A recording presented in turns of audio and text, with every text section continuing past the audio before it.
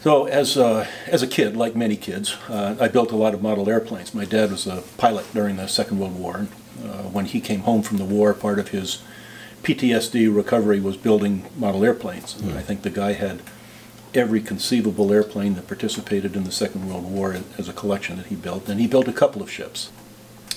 And then um, I got into uh, school, of course, and uh, college, and then medical school, and a surgical residency, uh, none of which had much time to do anything other than what I had to do. Uh, but uh, having said that, a friend of mine, uh, we were surgical residents together and both inveterate sailors, and we both decided we'd build this the Phantom, the, the small schooner that you saw over in the gallery. Uh, and I, I started it, and I got the hull done and the spars shaped, and then the surgical residency took over, uh, and it lived in a shoebox literally until I retired. So Wow. for 35 years, it was stuck in a in a closet. And when I retired, about six or seven months after I retired, I I looked at it and I said, you know, I think I'll finish it now, and and I did, and I thoroughly enjoyed doing it. It kept me relatively drug free and off the streets and out of my wife's hair, and uh, it's I thoroughly enjoy it. So it, it went on from there, and I just started building more and more complex ships and. No, so I just started uh, doing it again uh, four or five years ago. Yeah, So this is a, a very intricate hobby. Is this a little bit like surgery? very much so. I mean, it requires the same degree of manual dexterity, uh, the same uh, uh, degree of tolerance of frustration, uh, the same problem-solving skills. I mean, it's never easy, that's for sure. But nobody dies if you screw it up. Exactly right. Exactly right. That's right. So this seems, I mean, it's, it seems almost like you go to school for this. I mean, how did you learn how to do it? Basically, by the seat of my pants. I mean, trial and error. A lot of errors.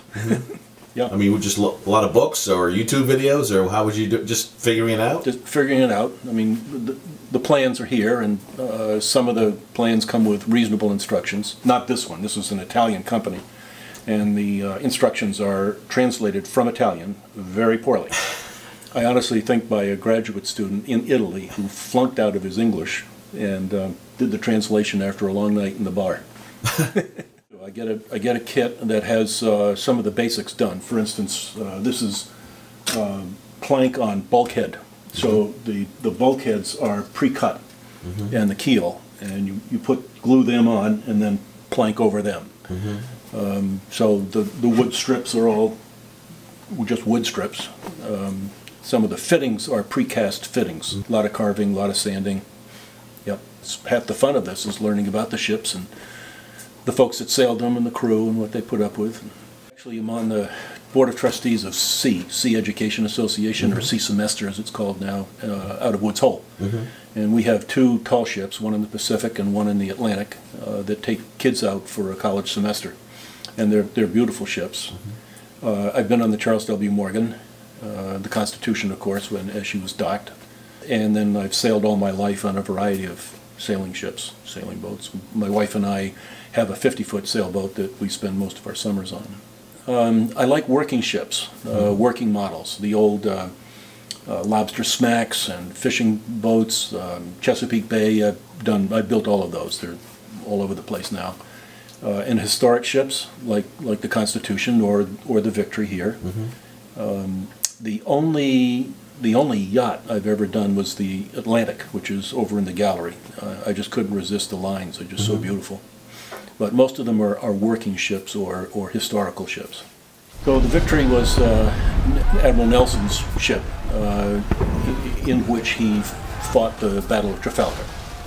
Uh, and it's it's very interesting. Uh, unfortunately, he didn't survive the battle, but at any rate, he um, opened a new chapter in naval warfare. Normally speaking, uh, ships of a line came along broadside to each other and blasted each other with cannon before the rigs came down, and then grappling hooks gun the side, and, and they boarded and fought hand to hand. What, what Nelson did was he said, no, I'm not doing it this way. And he sailed the Victory in between the ships that were lined up on the line, so that he went between the stern and the bow and took his cannons and, and raked the ships. So he'd fire into the stern, and the cannonballs would go along the whole length of the, of the ship and wipe out everybody who was there and all the men that were manning 34 to 50 guns.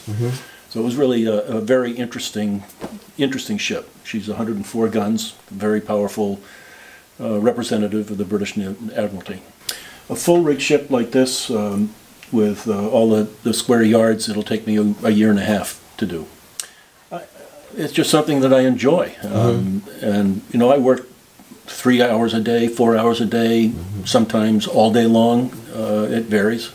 I don't work on them very much during the summer because we take our own boat to Maine for a month and then down to the Chesapeake for a month. And so there's a hiatus there, but most of the time I'm I'm at it and I just love to do it. It's done. There are there are ships and there are kits that are made to, that, that have the whole broadside open and exposed so you can see the interior. I, I don't bother with that. It's uh, but having said that, um, there's a lot of tedium involved in this, uh, and I, I break it up. So I'm doing a lot of the planking now here, which is tedious, and I, I build some of the masts as, to take a break um, as we as we go along. The uh, Constitution over in the gallery has over 2,000 copper individual copper plates on its bottom. Wow. That's, that's tedium. it, it comes in a in a roll. I have to cut them on a paper cutter into individual uh, plates and then and then put them on. When you when you take it up, start simple. Uh, do something that is very clear, good instructions from a good kit maker, so that it's all there uh, before you tackle something like this. Uh, there are other modelers that, that make plastic military. I have I've I served on an aircraft carrier, and I've been trying to find a wooden model of an aircraft carrier, and I can't. So I'm going to have to build it from scratch. That's after this one. Yeah, they they have uh, everything from uh, whale boats to well the Portland, the old side wheeler. Um, uh, you you learn as you go. There's lots of tools that you, you learn about um, and wish you had learned about earlier. Um, there are different adhesives that you need to learn how to work with, different paints. I do go online uh, because the, the plans and the instructions that come with these things are not ever complete. So I go online and there's a lot of information online about all these ships. It's uh, amazing. Oh, we'd be alright if the wind was in our sails. Oh, we'd be alright if the